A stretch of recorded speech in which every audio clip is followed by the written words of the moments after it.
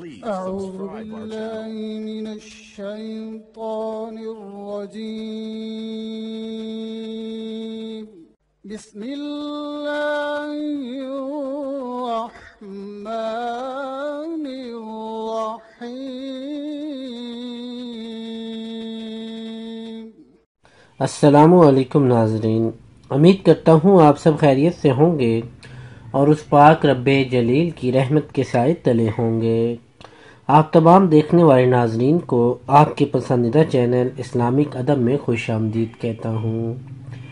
ناظرین، آج ہم جس عمل، وظیفے یا ورد کے حوالے سے بات کریں گے، جس عنوان پہ ہم گفتگو کریں گے، وہ سور واقعہ ہے کہ اگر ہم سور واقعہ کو روزانہ عشاء کی نماز کے بعد پڑھیں تو اس کی کیا فضیلات ہیں، اس کی کیا برکات ہیں، اس کے کیا فائدے ہیں۔ ناظرین سور واقعہ قرآن پاک کے ستائیسویں سپارے میں موجود ہے، جیسا کہ ہم دیکھ بھی سکتے ہیں کہ ہم قرآن پاک کے ستائیسویں سپارے میں آ چکے ہیں اور آپ اس وقت سور واقعہ کی ابتدائی آیات اپنی سکرین پر دیکھ بھی سکتے ہیں۔ ناظرین عمل کیا ہے؟ عمل کس طرح کرنا ہے؟ اس کی تفصیلات بتانے سے پہلے میں اس کی اجازت کے حوالے سے آپ کو بتا دوں۔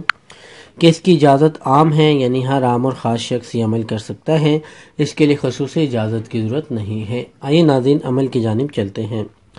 ناظرین، جو بھی شخص اپنا معمول بنا لے گا، روزانہ نماز عشاء کے بعد سور الواقعہ کی تلاوت کیا کرے گا، اس کا ورد کیا کرے گا، تو اس کی فضیلات اور برکات یہ ہیں کہ وہ کبھی بھی بھوکا نہیں سوئے گا۔ اللہ تبارک تعالیٰ اس کو بے تحاشا رزق دے گا، غیب سے اس کے رزق کی مدد کرے گا۔ اگر رزق کی تنگی ہے، بے روزگاری ہے یعنی کہ رزق کی وجہ سے پریشان ہیں، تو ان شاء اللہ تعالیٰ آپ سور واقعہ کے اپنی یہ جو ہے معمول بنا لیں، روزانہ نماز عشاء کے بعد ایک مرتبہ اس کو لازمی پڑھیں۔ ان شاء اللہ تعالیٰ اللہ تبارک تعالیٰ غیب سے آپ کی مدد کرے گا اور کبھی بھی آپ رات کو بھوکا نہیں سوئیں گے۔ ناظرین، امید کرتا ہوں کہ آج کا یہ عمل، آج کی یہ ویڈیو آپ کو پسند آئی ہوگی۔ اگر پسند آئی ہے تو اس کو لائک اور شیئر لازمی کیجیے گا۔ شیئر لازمی کیا کریں؟ دوسروں تک اچھی بات لازمی پہنچایا کریں، کیونکہ دوسروں تک اچھی بات پہنچانا صدقہ جاریہ ہے۔ نیز ہمارے چینل اسلامک ادب کو لازمی سبسکرائب کیجیے گا۔ بہت شکریہ۔ اللہ حافظ۔